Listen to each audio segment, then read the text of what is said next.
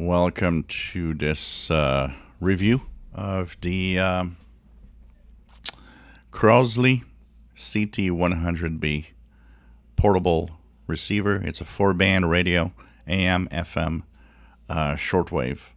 Has good coverage from 3 to 23 megahertz and has a tape cassette that you can record on, play tapes on it, and so on.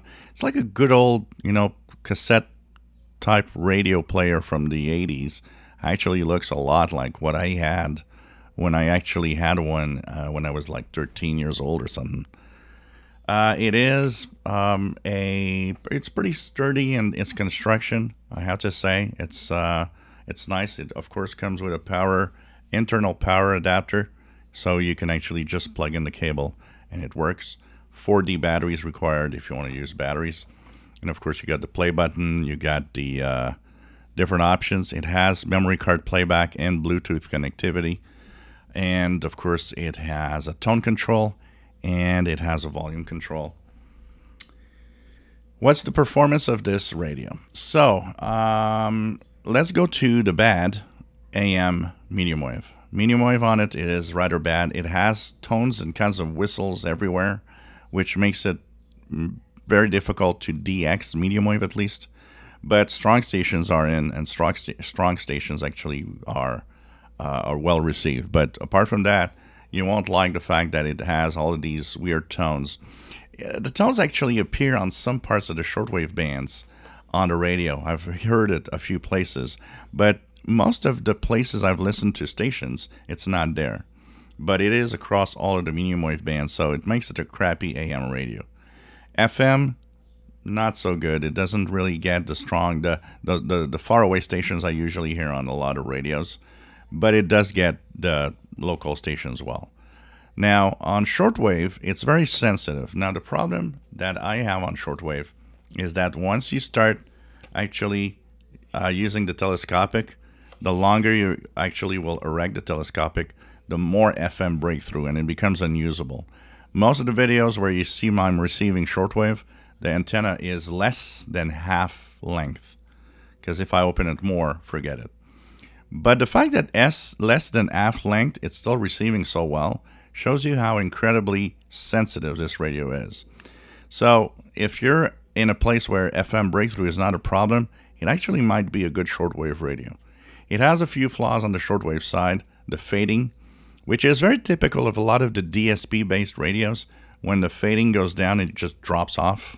A lot of you have actually commented on that on some of the view, the radio um, videos that I posted with listening to stations.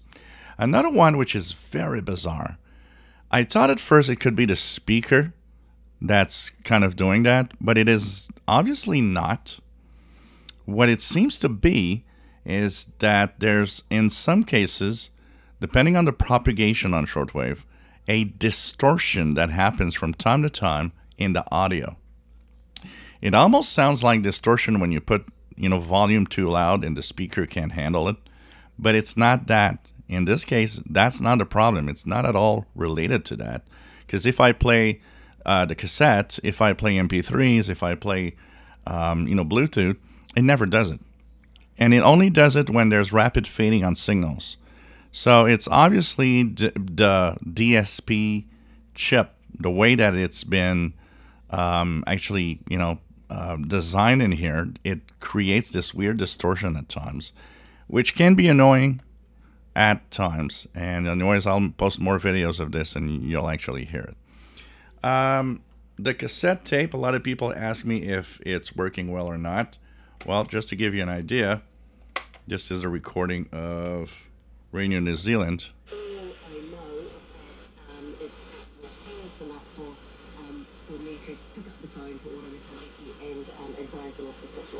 And if you record music off of FM and stuff like that, it actually sounds decent. It records pretty well, and for that, it is actually nice.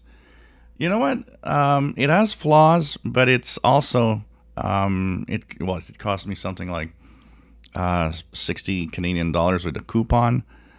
For the price, I got a cassette player and all of that. It isn't too bad, but yeah, obviously, if if you don't want to have the distortion effect, it's a little bad. But it's not everywhere, as you might have noticed, and some of the reception and the receive of the stations. You notice how good it is, also. Um, FM breakthrough is really bad, and it's sad that the AM is plagued with all of that weird tone thing, because this could have been an ultimate good, what I call kitchen radio. It's you know with the power that you just plug in it's what I call a kitchen radio, and it would have worked well. It has a um, earphone jack that you can actually plug in. Uh, overall, I'll give this a passing grade of 6 out of 10 for the effort, but it's unfortunately uh, filled with little flaws. Uh, and it's sad because the construction itself seems to be quite sturdy and quite good. Uh, will I return it? I will probably not because I kind of am um, a little bit of a fanatic of it now because of it reminds me of my first cassette radio player that I had. So, and even though it has some of the flaws, it's still listenable on shortwave on some stations, and I like the cassette playback and record. So, I'm gonna keep it for that purpose. You can record from any source if you actually, you know, use Bluetooth and and have audio through it. You can record from that also so you can make yourself cassettes and stuff. Uh, I know cassettes are kind of a little outdated, although apparently there's a revival in some of the, the, the young generation today kind of are, are going crazy over cassettes like they're going crazy over vinyl records. Um, but uh, that's the straight dope out of this. FM, okay, not great. AM, almost unusable, especially for DX. On local stations, a little better.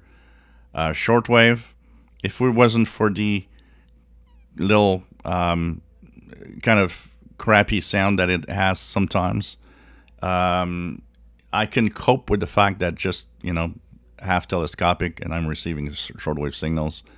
Uh, that would be at least great. Um, but uh, that's all the flaws that it has, uh, honestly. So, Crosley CT 100B. That's pretty much what I have to say with it. If you enjoy my videos, please subscribe, give us thumbs up. Thank you for watching.